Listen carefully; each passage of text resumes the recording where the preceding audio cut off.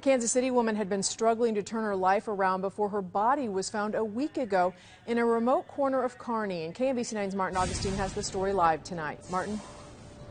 Kelly, at this point in their investigation, uh, Kearney police officers have ruled Reed's death suspicious but uh, and, but they're not elaborating any further about what they've discovered. Tonight, police have released this photograph of Nicoleon Reed, known to her friends as Nikki. We took her photograph to an area of Independence Avenue on Kansas City's northeast side, where Reed was known to live, to see if we could find people who knew her.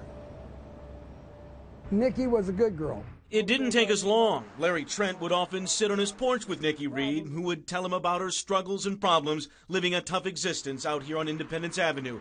Calling Trent Pops, he was one of a very few people she trusted. And I feel sorry for her because the poor girl didn't have nobody else to go running to.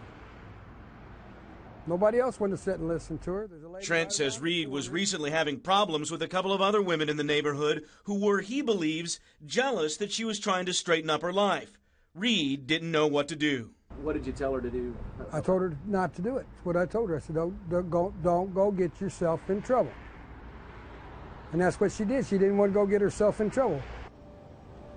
And that, Larry Trent says, is because Reed wanted to square away her life so that she could hook up with her nine-year-old daughter again, a little girl that Trent says is being cared for by relatives of Reed who live around Topeka. Reporting live, Martin Augustine, KMBC 9 News. All right, thank you, Martin. Now, if you know anything about what might have happened to Nicoleon Reed, call the Crime Stoppers Tips Hotline. That phone number, 816 474 TIPS.